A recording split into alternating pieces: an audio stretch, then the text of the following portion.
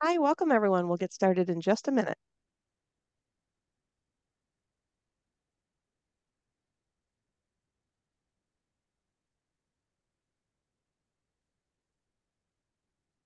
Louise, if you're going first, do you want to go ahead and um, put up your slides?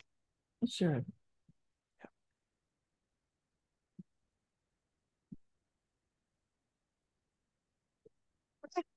Um, welcome everyone.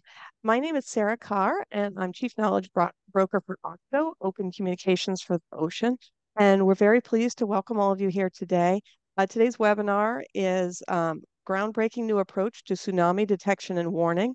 We're very pleased to have Louise Comfort um, from the University of Pittsburgh and Lee Freitag from the Woods Hole Oceanographic Institute here to present to us about a new book that um, they've published uh, called Hazardous Seas about this work. Um, before we go ahead and turn it over to Louise and Lee, I wanted to let everyone know how to ask questions. So we'll have a formal presentation first, and then we will um, we'll then we'll be open for questions. Um, if you want to send it, you can send in questions at any point during the webinar. That's fine. And you can send them in by posting them in the question panel of the user interface. And we welcome that. That's perfect for questions. Um, and then in the chat, um, you are able to chat with everyone. We you can post questions there if you want also want input from other attendees on the webinar, or if you have additional information that would be useful for the webinar, feel free to post it in the chat. We just ask that you keep anything you post to everyone in the chat professional. Um, thank you very much ever, to everyone who was able to make it. And thank you very much to all of you who are here at odd hours in the middle of the night. So our early morning, we appreciate you making uh, the effort to be here. Um, and I'll go ahead and turn it over to Louise and Lee now. Well, thank you, Sarah, for that introduction. Uh, we're really delighted to have this opportunity to uh, share some of the findings from our book and I first want to begin by thanking our international interdisciplinary team. This was a major effort. We absolutely could not have done it without our colleagues in Indonesia. And I will have to say it's 1 a.m. in Indonesia now, so they may not be watching, but I do want to acknowledge Harkunti Rahayu, uh, Lee Freitag, who you see here and we'll be talking later, also Taieb Znati, University of Pittsburgh, Emile Okal, our seismologist. Taieb was a computer scientist. Uh, Emile Okal, our, our seismologist from Northwestern University. Febrin Ismail from Andalas University, key person. And our three Indonesian engineers, uh, Ian Triano, Wahyu Pandoe, and Zervandi, uh, they were all um, practicing engineers with BPPT, which was the National Indonesian Agency responsible for managing the buoy system in Indonesia. That agency has now been reorganized under a national agency for research and innovation, and all three are affiliated with that new agency. But we also included other researchers from the University of Pittsburgh, Bandung Institute of Technology, Woods Hole, Northwestern University, and uh, Universitas Andalas. so this is the book, Hazardous Seas. And in this book, we tried to address this complex problem of early warning, uh, early tsunami uh, detection and warning. And as you know, tsunamis are generated by undersea seismic activity earthquakes, landslides, volcanic eruption, or major displacement of the water. The real question is, why is it so difficult? And the difficulty is because the near field tsunamis occur less than 200 miles from shore. And our current detection methods, which are largely the uh, DARPA, uh, the deep ocean um, uh, tsunami buoys um, miss the nearshore tsunamis. They're very good at detecting the deep ocean, but they miss the nearshore tsunamis. And there is high uncertainty about when these tsunamis will occur and where they occur. Uh, and when they do occur, there's high urgency for response. There's less than 20 to 30 minutes uh, from the time the uh, earthquake or displacement occurs and the wave uh, strikes shore. so the other major reason for doing the study, undertaking the study, is that tsunamis create the potential for massive harm, not just a little harm, but massive harm. And this study actually originated after the 2004 Indian Ocean tsunami uh, that occurred on the 26th of December 2004, a magnitude 9 rupture of the Sunda Trench, and it generated massive waves that went throughout the Indian Ocean basin. Indonesia was most heavily affected. Approximately 125,000 lives were lost, but there was heavy destruction in other Asian countries, Sri Lanka, Thailand, India, and across the ocean to East Africa, approximately 250 lives lost in all. And 2004 was not a one-off event.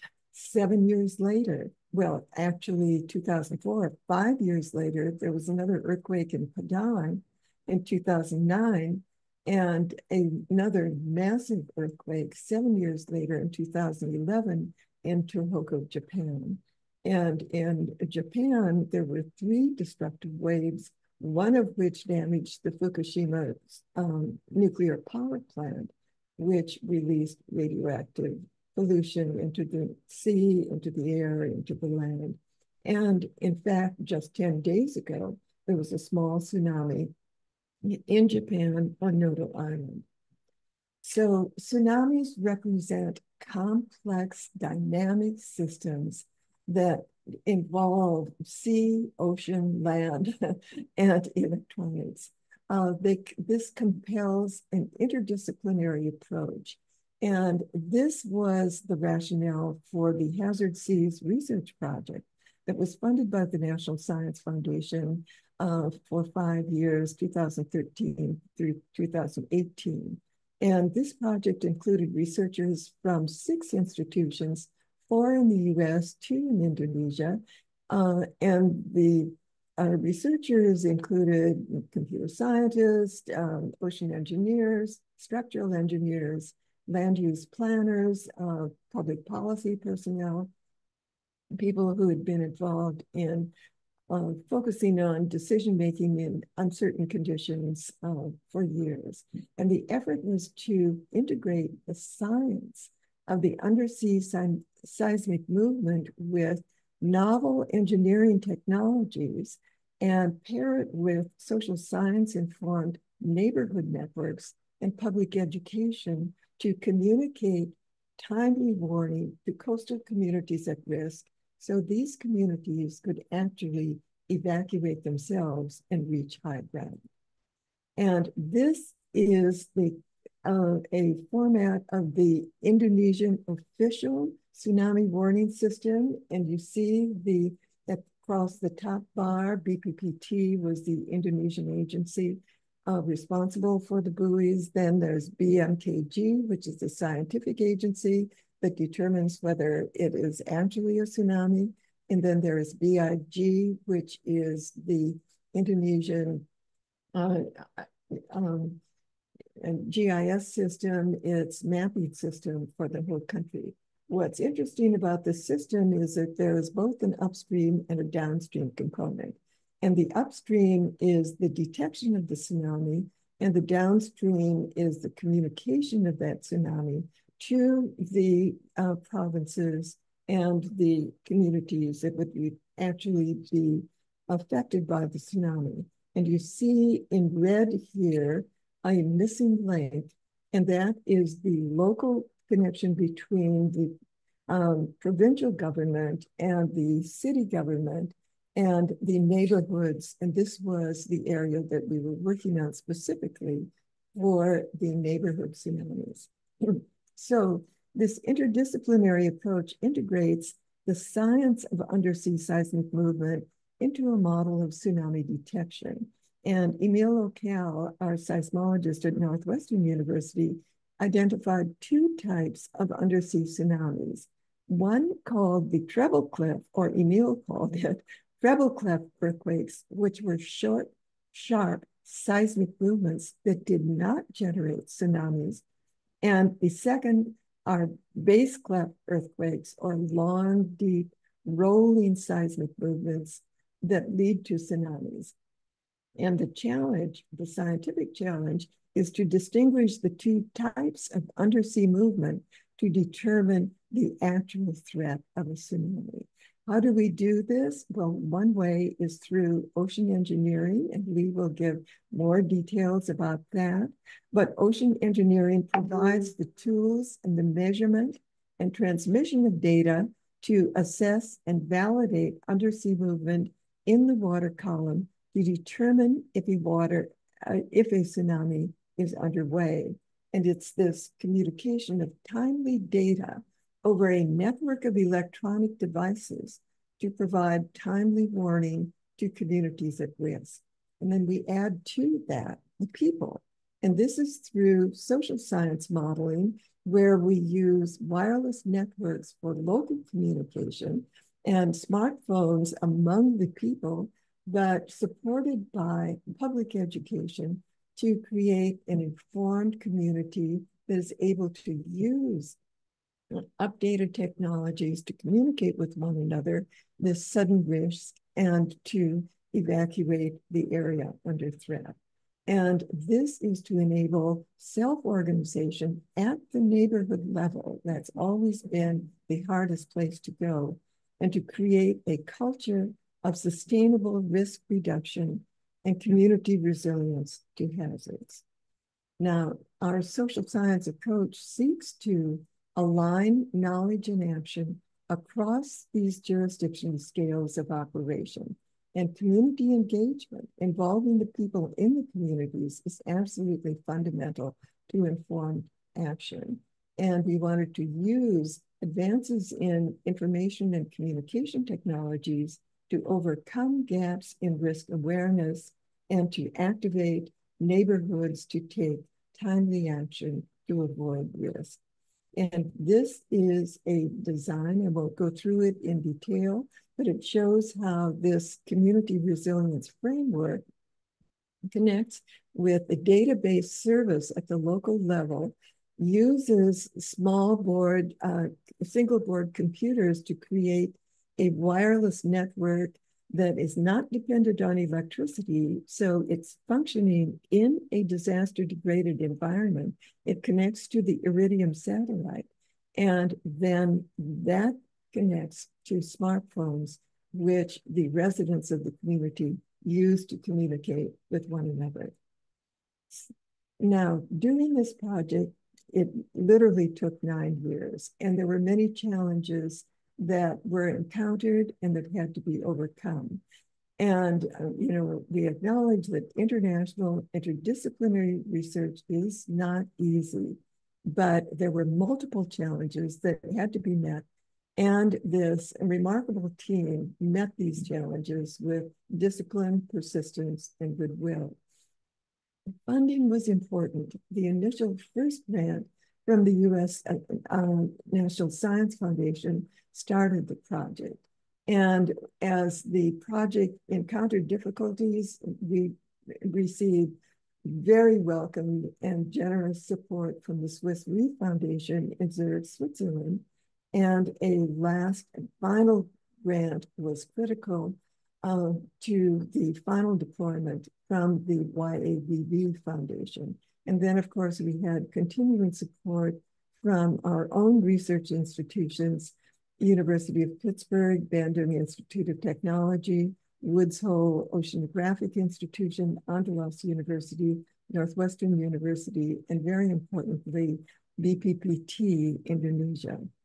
Working conditions, very difficult. Two languages, communication across 12, 16 time zones, 24 hour flights, innumerable Zoom calls, and what WhatsApp notes at all hours of the day and night. But the final difficulty, and this was maybe the most difficult, was COVID 19. and the unanticipated restrictions on international travel that caused uh, caused by the pandemic delayed the completion of the final installation of the undersea network for two years. The prototype was completed, but tested in stages rather than as a single operational unit. And now I'll turn the, the, um, the cloud over to Lee. Lee? Louise, thank you very much. Let me just share my screen and I can begin to uh, show the, uh, the rest of the story, which is the um, uh, deployment and uh, operation of the system. Okay. Can you see my screen okay, Louise? Yes, it's fine. It's clear. Great. Okay. So first of all, just like uh, Louise, I want to thank all the folks who helped us uh, in the field, in particular the BPPT engineering team, Ian and Randy, who may be online today and watching, and uh, Febrin Ismail, professor at the University of Andalusia, who was instrumental in providing the local support that we needed, including bonding the, the ship that we were able to use to do the initial deployment and the initial testing was really, really key. But along the way, there were literally dozens of other people who were, were uh, able to support us. Uh, everybody from the local taxi drivers to the team which helped with the initial deployment, and also the technicians and the other engineers uh, who worked at the BPPT. So I wanted to thank them and acknowledge the fact that this is not not simply a U.S. A U.S. project, even though a lot of the initial funding came from the National Science Foundation. Uh, large amounts of funding were supplied uh, Indonesia by the Indonesian government across all these different organizations, and that was really key to the success. So going back to uh, the whole problem here, we have a very short amount of time from when there's an earthquake uh, that is uh, ruptures an area close to shore to when a tsunami event will result in a wave that, that can affect the local population. And it's this very short amount of time that we want to begin to uh, to look at in terms of enhancing our, our, our early warnings, early warning systems.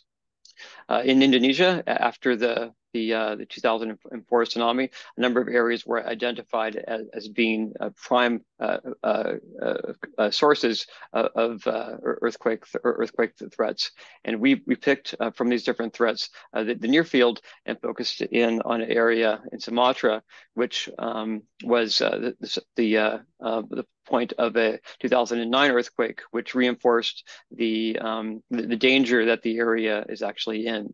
There's a large amount of energy which is pent up in this area and it has not been released despite the earthquakes that happened in 2004 and 2006 and also in, in 2009.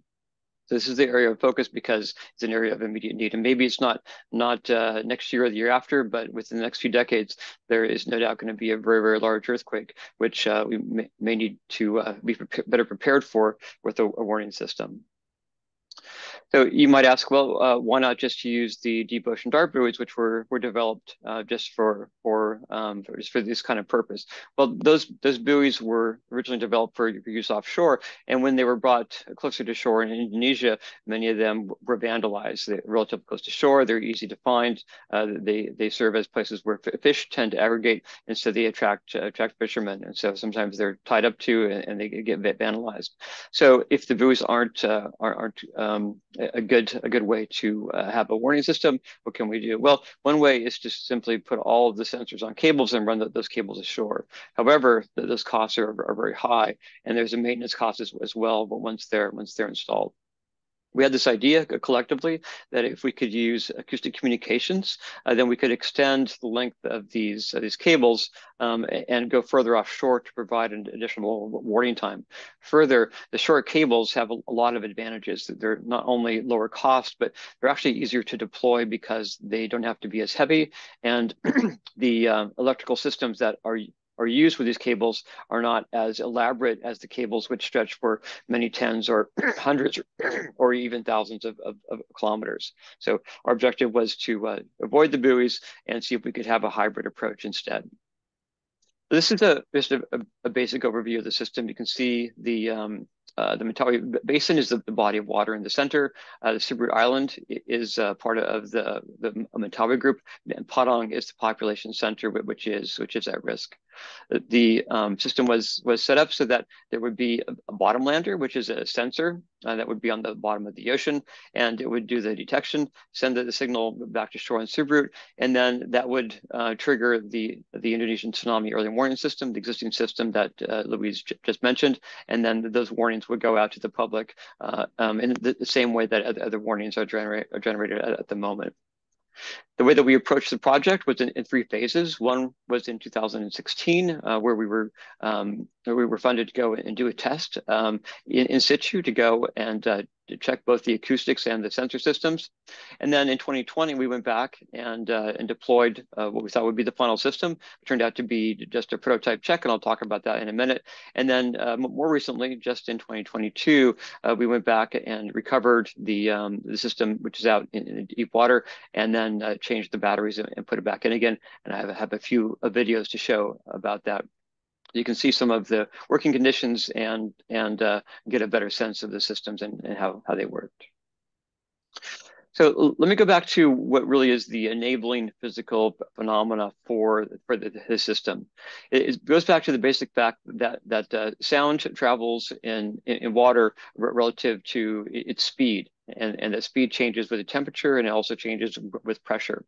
In Indonesia and other parts of, uh, of, the world, there's a layer of warm water uh, at the surface. And if we have uh, acoustic signal, um, an acoustic modem in this case, and we send that signal from the seafloor, the sound then travels towards the surface, but then it bends or refracts away from the surface, and then travels back down to the to the um, seafloor again.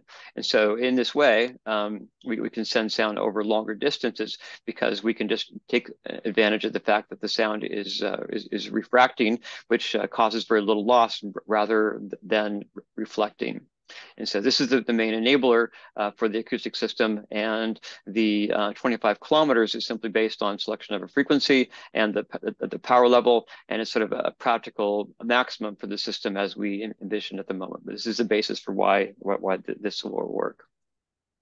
In 2016, after doing a modeling and system design, we, we took uh, hardware to Indonesia, worked with with, uh, with Ian and his team uh, from the BPPT um, and Febrin, who was able to uh, to get the ship for us, um, and we did a successful experiment uh, where we um, put a, a uh, underwater lander with the pressure sensor out in the, the middle of the Mentawai Basin, about halfway bet between the island of Siberut and, and Padang, and uh, collected a bunch of acoustic data. We also collected pressure data, which was was later analyzed uh, to look at the earthquakes that, that occurred over over time.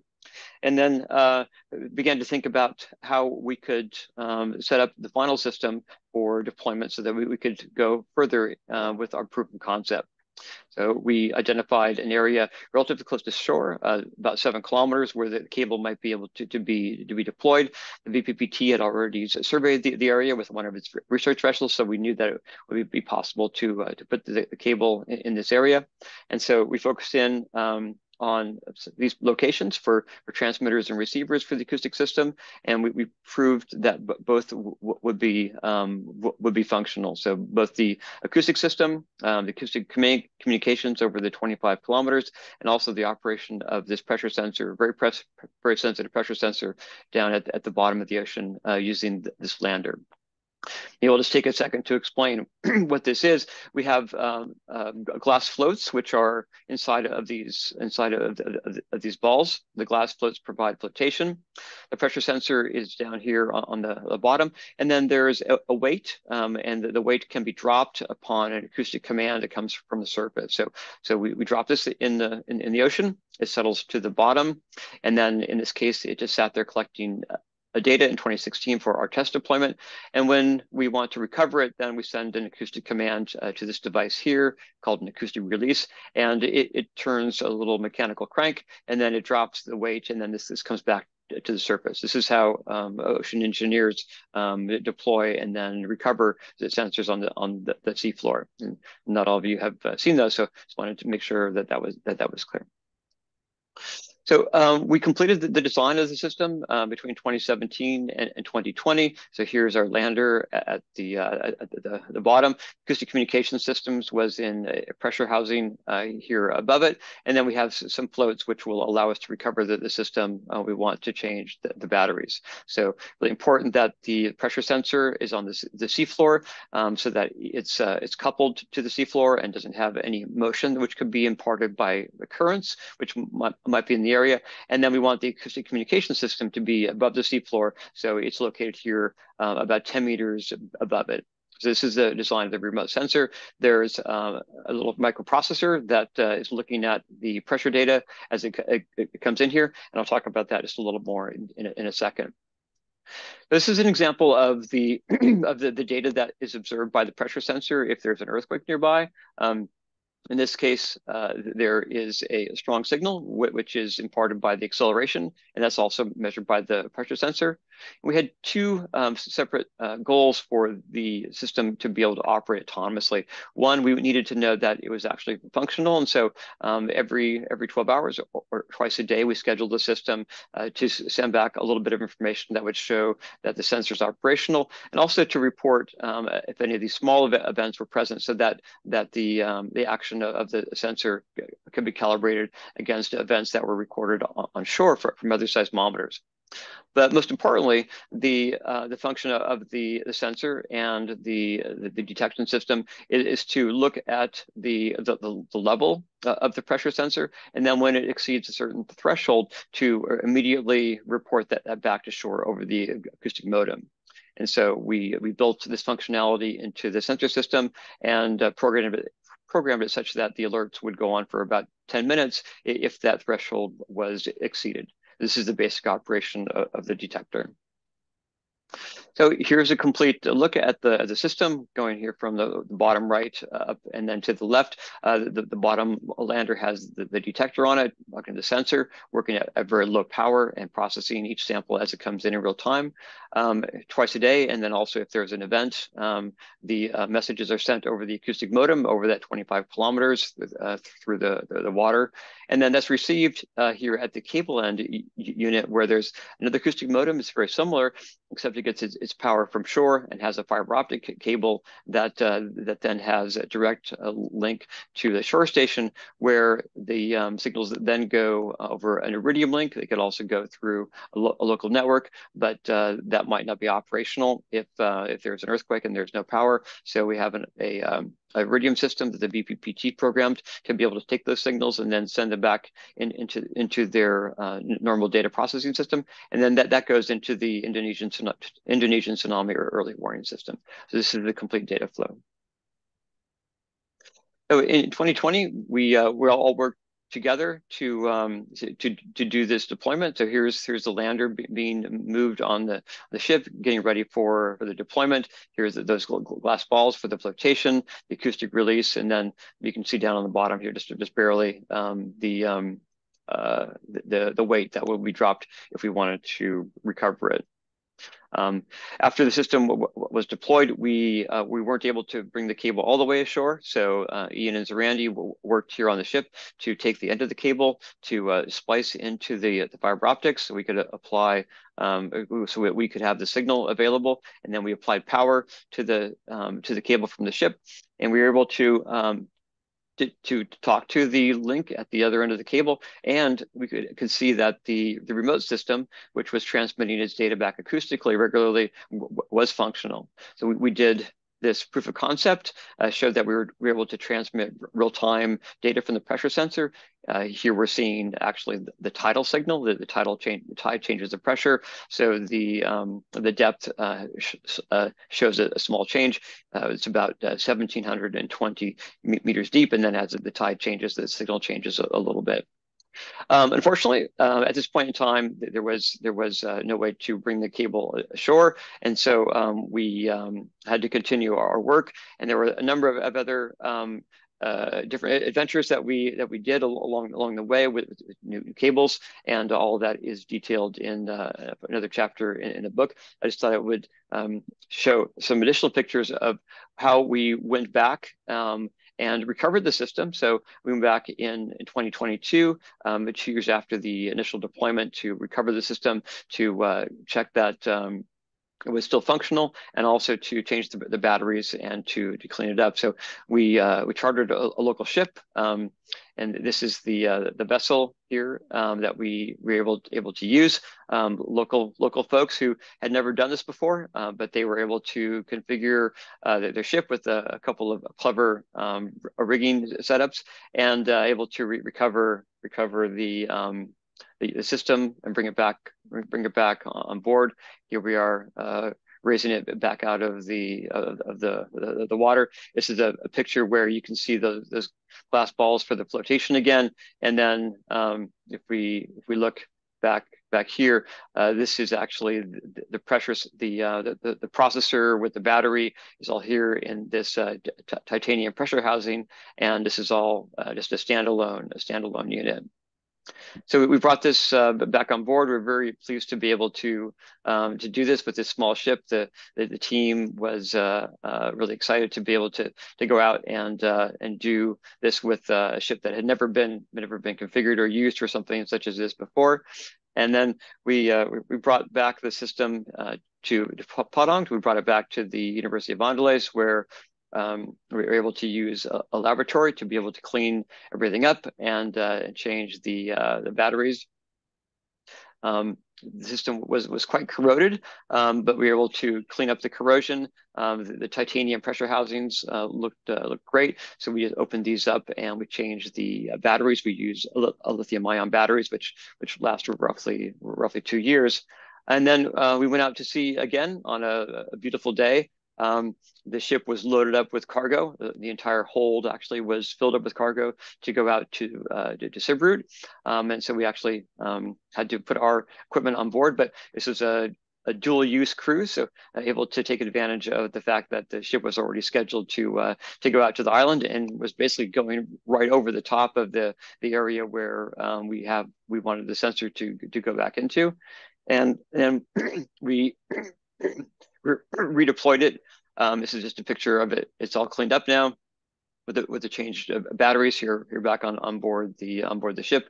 Um, we're actually uh, on a, a, pile of uh, steel that was going out for a building site on on Siberut, and I don't have a picture of the actual deployment, but uh, we successfully put the units over the side. Um, we had fresh weights on the, the bottom of the lander. We dropped it back to the the, the bottom of the ocean, and uh, it's there it's there now and uh, um, we probably will go back sometime this year to uh, recover it, and then we'll bring it back on shore, back up to the University of Andalas, and then where we'll uh, await um, another opportunity to to put it, it, back in and connect it up to a cable system, um, or perhaps um, we'll we'll we'll select a different lo location. There's lots of different uh, potential places in Indonesia where a system such as this could be could be used. They all require these these uh, short lengths of cables, uh, five to ten kilometers, and um, we'll continue to, to work with our, our partners in Indonesia to see whether there will be future opportunities um, there, perhaps in the Mentawai, perhaps even uh, offshore of, of, uh, of, Bali or some of the other other islands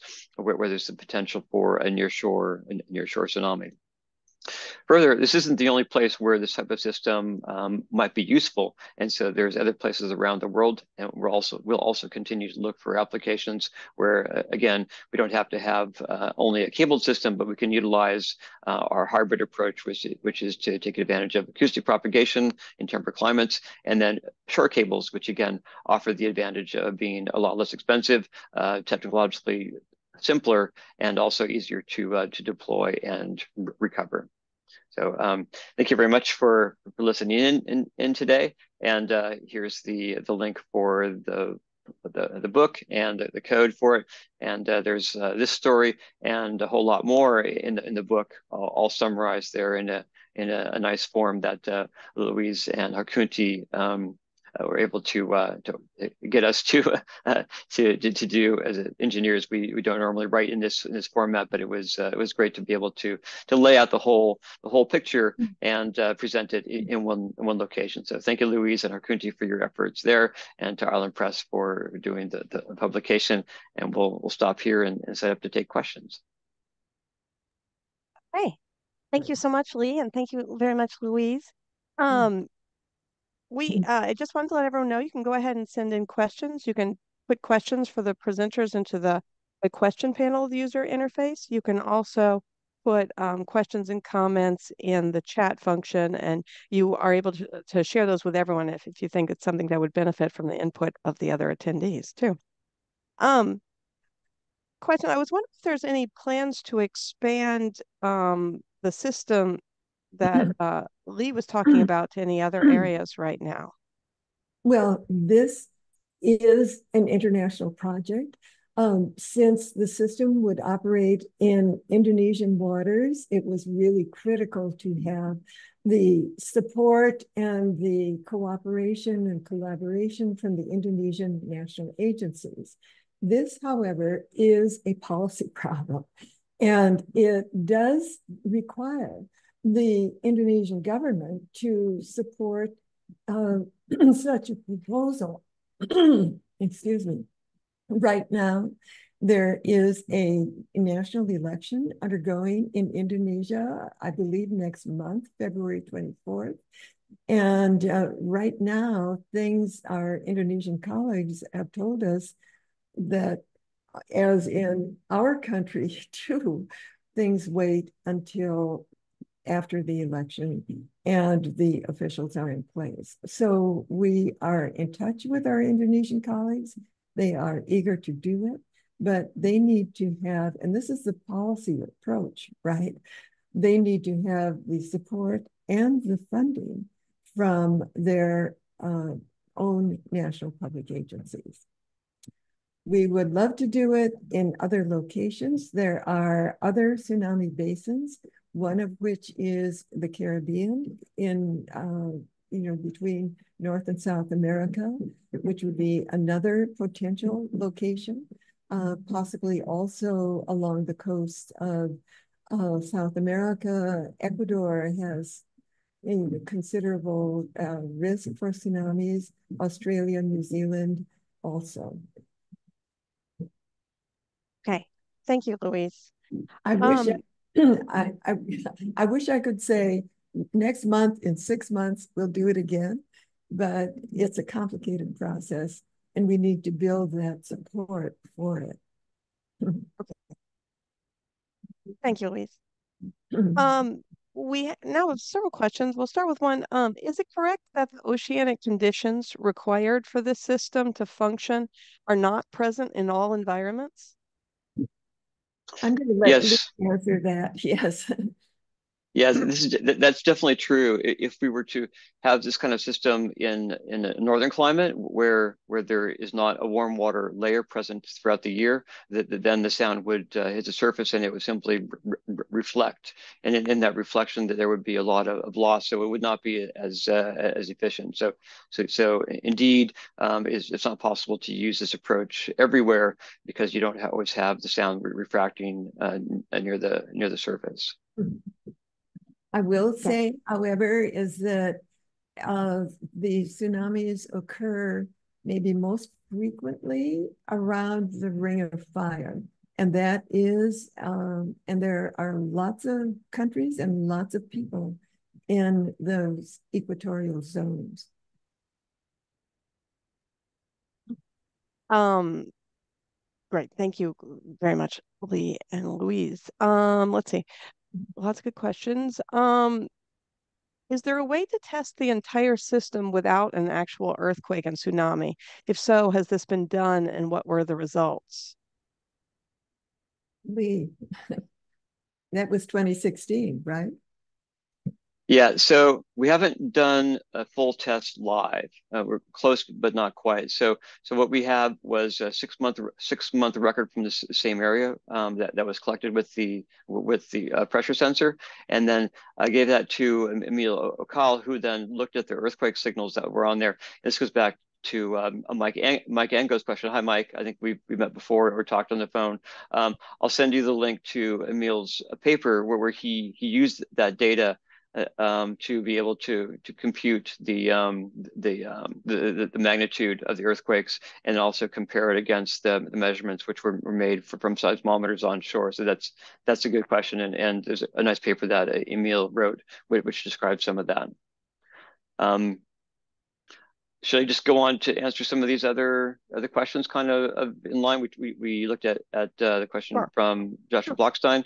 Uh, so uh, yeah, the question for, for, from Chris Ansel um, is the detector system prone to false positives or, or negatives? Yes, yeah, so this is this is one of the the, the real tough challenges of, of the system. Whenever the, the, the seafloor shakes just from an earthquake, the the um, the, the, pressure sensor uh, uh, responds to that. And so differentiating between just an earthquake and between a, a, pressure sensor in the near near field is really challenging.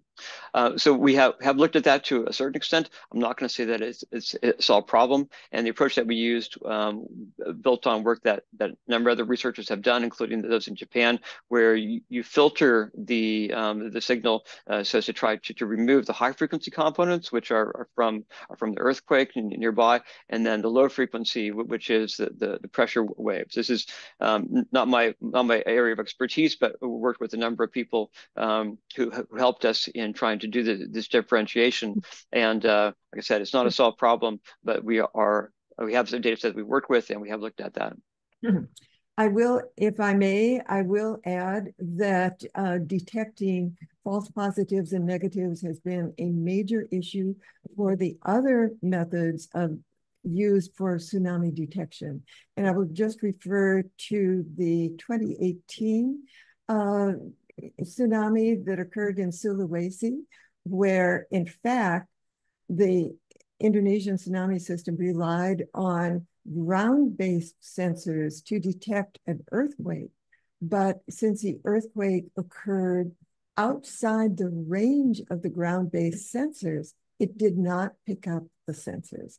So when it initially occurred, they picked up an earthquake had occurred, but when, since it was outside their range, the uh, agency re, uh, recalled the warning. So they canceled the tsunami warning. And minutes later, the tsunami wave came in and killed over 4,000 people and literally created tremendous damage because people thought they were safe and were out in the street again. And so this is a major issue for all tsunami systems. And one of the reasons that this system is, we believe, I think Lee is a bit modest, that it gives a much more accurate profile of movement underwater that verifies a tsunami. Is that right, Lee? I hope. the closer, well, I think there are people on on the uh, this webinar who, who know more about this than, than I do, to be honest. But uh, the closer you can get to the source, the, the potentially the better the source of information. Uh, and then here's a question from Felicia, and briefly explain how the population will be warned of an upcoming tsunami. This is the social science component. And I didn't go into it uh, in detail, uh, after the 2004 tsunami, Indonesia developed a tsunami warning system. And uh, it's a very complex, detailed system that includes a knowledge base, a GIS system, a mapping system, and communications, policies of communications between the national agencies, the provincial agencies, the um, municipalities, and the neighborhoods. The weakness in that system has been the link at the local level. It's the last mile link where in small cities, the communication doesn't get out to the neighborhoods. So the people in the neighborhoods, uh, you know, this earthquake has occurred. They may have felt the shaking. If they don't know it's a tsunami, they don't know when to go or where to go. And this is literally why oh, so many people died in the 2004 tsunami. So our project was specifically designed to address this problem of creating neighborhood networks.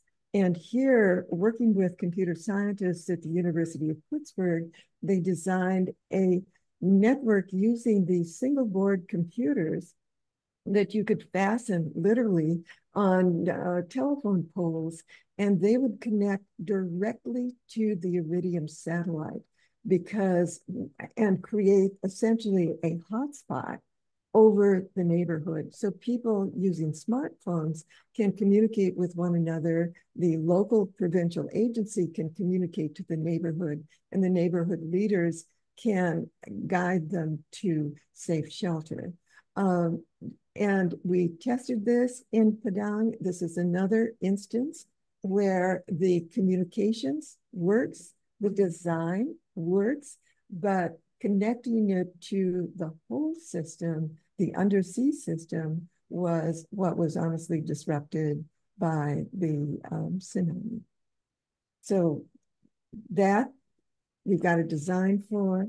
And I will say this is something that Harkunti uh, Rahayu, my colleague in our colleague in Indonesia, worked on very uh, carefully. She has done a lot of uh, public education with communities that are subject to tsunamis to uh, enable them and help them develop their neighborhood networks where the people in the neighborhood elect their own leaders and the leaders take responsibility for communicating with every single household in that neighborhood. Okay, thank you, Louise. Mm-hmm. Um, Lee, I just wanted to let you know I reposted. Um, you had posted something, but it only went to the hosted panelists, so I reposted it to everyone okay. so they could get that that link. Um, there was another question that came in. Could you briefly explain how the population will be warned sorry, that was the one we just did. Um, how would the intensity of a tsunami vary depending on whether it results from an earthquake or a volcanic eruption? Do these detective detection devices also work for detecting tsunamis from volcanic eruptions or just earthquake, or, or is it just earthquakes? So that's a good, uh, yeah, that's an excellent question. So anything that, that results in the, the, ground shaking is going to potentially create an event which would, be triggered but by our very simple uh, detector. And so um, anything that, that's happening nearby, a subsea could be uh, detected. Underwater volcano has uh, has other signatures, including a uh, acoustic signature fr from from the uh, eruption eruption itself. So we haven't I hadn't considered um, putting these in proximity to underwater areas where underwater volcanoes could occur. But the same principles apply. When when the ground shakes, the the pressure sensor uh, has a signal, and uh, the detector uh, that is looking at the data from the pressure sensor would register that, and it would create an event which would then go, go back to shore. So the system would work, but we'd have to make sure that it could be tuned uh, so that um, uh, you, you, understood what you were uh, what you were actually seeing. That goes back to the filtering was describing uh, about uh, getting rid of the high frequencies potentially to show that there's a pressure signal which is which is actually from a, a, a tsunami. I will add that this exact situation uh, occurred in December 2018 with a small tsunami, well, small, it was a sizable tsunami that was generated by a landslide from the side of the Arak volcano. Uh, and uh, it was not picked up by the undersea, or excuse me, by the ground network. And so that tsunami occurred as a total surprise to these communities. Uh, and actually on both sides of the Sunda Strait, communities were affected not as many people were uh, uh, killed, but it was still an example of how the existing tsunami detection systems did not pick up a tsunami that was caused by an undersea volcanic landslide. Okay, thank you so much, Louise, and thank you so much, Lee. Okay, a question that came into the chat was, are there any estimates of what the wave amplitude accuracy might be? So again, this is an area that's a little bit outside of my primary expertise, which is acoustic acoustic communications. But the the strength of the pressure signal is is definitely uh, related to the size of the wave. Uh, but there's a lot of uh, of numerical calculations that have to be done to, to relate the size of the pressure signal to the actual run up uh, of a tsunami, which is the which is the the uh, uh, the the um, amount of, ground it will cover when it, comes on shore. So that that sort of modeling is uh, is has been done, and uh, it's outside of of what this project what was intended intended to do, but indeed the strength of the signal, which we would detect and send back, can be related to the, the run up of particular of a particular tsunami. I'd like to respond to Maria Carrillo. Uh, as an anthropologist, also working on ca catastrophe hazards modeling. Uh, we are delighted to meet you and would very much uh, like to connect with you. So thank you for sharing your email. Okay, thank you, uh, Louise, and thank you, Maria. Um, we don't have any other questions right now. That we we have some some other comments from from Mike and um, some other participants. Um, I did want was wondering. We were only able to sort of really cover in depth um, just a few areas from the book. Um, were there any other um, topics that are covered in the book that you just wanted to highlight here right now? Hmm. Well, I would like to highlight that we also did a lot of modeling for the uh, community-based networks. We were not at all certain that people would be willing to learn how to use a smartphone. The smartphones, the uh, single board computers would be a network of computers that would need to be fixed ahead of time. So people would need to either have them on their houses, put them on the telephone poles, put them in structures that would not collapse if there was an earthquake. This was one of the things that happened in Turkey where uh, the uh, cell phone signals were built on tops of houses that collapsed. And when the houses collapsed, of course, the system network would collapse. So selecting how and where to place these this network of single board computers would involve community participation. People would need to agree to it. Uh, they're relatively inexpensive. Uh, they're about $200 each. Um, so each neighborhood literally would need to have at least one, if not two. And so engaging the neighborhoods and people in reducing their own risk is really important, especially for these hazards that are you know, uh, years apart. In Indonesia, they occur, there's a major earthquake or tsunami at least once a year in Indonesia. But Indonesia has 18,000 islands, so they're not always in the same place. So building this sustainable sense of resilience and a and neighborhoods change and people change and positions change it's a continuing effort.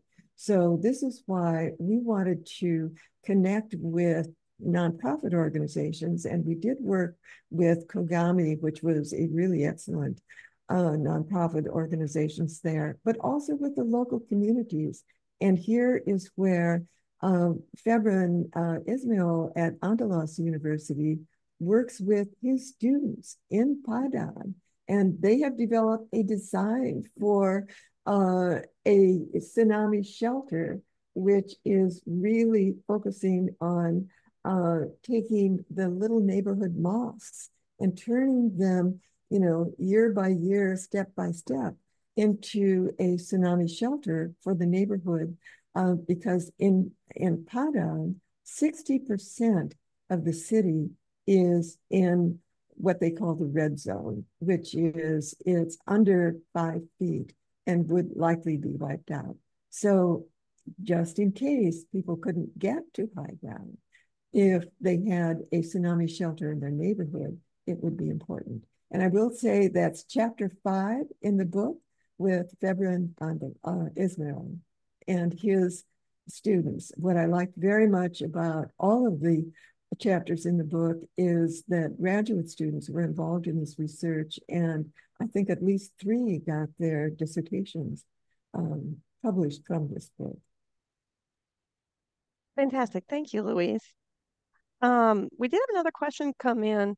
Uh, is there an ROM, I'm not getting the abbreviation right now, is an ROM figure for the cost of building and deploying and powering the cable to the receive point?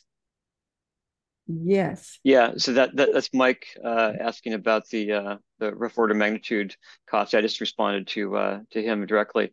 Um, so one of the really interesting things that we found, uh, Mike, was that the cost of, of, building these cables in Indonesia was maybe a factor of 10 less. They, they, they believe they're produced under license as a local manufacturer. And also uh, the BPPT was able to able to, so source the, the cable end terminations as well. And then they built up the, the power supplies, uh, which, which didn't have to use extreme voltages, only a few hundred volts, be able to build them up themselves. So it was really literally some tens of thousands of dollars to build some of those those components. Whereas in in if you were, to procure those components from from Europe or from the U.S., it would be literally ten times more. So the, the homegrown system um, is uh, is very reasonable, um, although um, not replicable, you know, here in the in the U.S. At, at, the at those same prices. That was one of I think the, key things that we came away with is that is that uh, an economy um, such as Indonesia's, which which has lower costs for, for manufacturing, but access to to relatively high technology via licensing and also because in Indonesia they need lots of, of, of undersea cable, so they have a large volume pr production. It's kind of an ideal setup uh, for, being able to uh, to do something like this, uh, short cables or long cables as well. So um, maybe that's, that's, a chapter that we missed, Louise, which was some of the economic uh, differences be between implementing these systems uh, in uh, Europe or the U.S. versus versus Indonesia, and some of the advantages of the, these systems, which were, were, were manufactured essentially entirely in Indonesia, except for the acoustic modems, which we brought from the United States.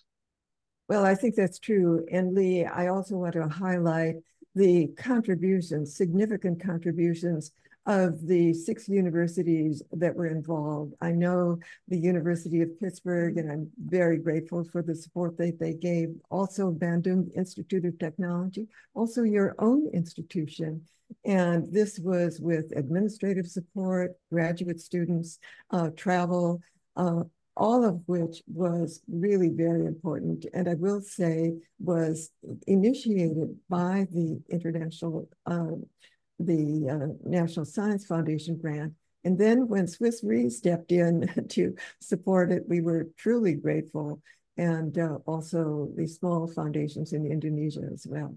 So it just emphasize, I just want to emphasize again, these are interdisciplinary, interorganizational, interjurisdictional, international projects.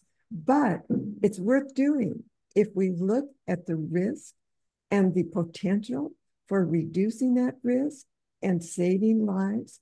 It's a major step forward. And we were grateful and pleased to have the opportunity to do this but we would very much like to see it continue. Great. Thank you, Louise. Um, and Mike also commented that maybe this approach would could also work for small island developing states like New Caledonia and Tonga, et cetera. Absolutely. Um, Absolutely. One more question. Like what sort of uh, how close together would you want the offshore systems in an ideal world? Um, like how, how many of these do you need sort of for full for full, full coverage for the areas they're able to monitor? So uh, I think in these relatively small areas, um, distances of maybe 30 kilometers or so. I, I think uh, with some other seismologists I've talked to, we, we, threw around numbers of 60 kilometers apart, um, just because you have some coherence, uh, some local coherence. But that, that's that's the rough, rough scale. Wouldn't be any reason to have them more than sort of 20 to 60 kilometers. And uh, again, other folks who who are experts in, in, in propagation rather than communication, like myself, could, could also uh, provide some input on that. But one of the other uh, possibilities that we had considered was the key area we wanted to protect with this project was the city of Padang, which is a city of about a million people. And it's probably the largest and most significant port in Western Sumatra. So having the port go down in Padang would be really serious and the damage to the people. So the real question is, could we use several languages, sort of multi-hops, and, and create a network of these networks to protect the city of Padang? And uh, this certainly was one of the ideas that was developed and I think, in our conceptual model.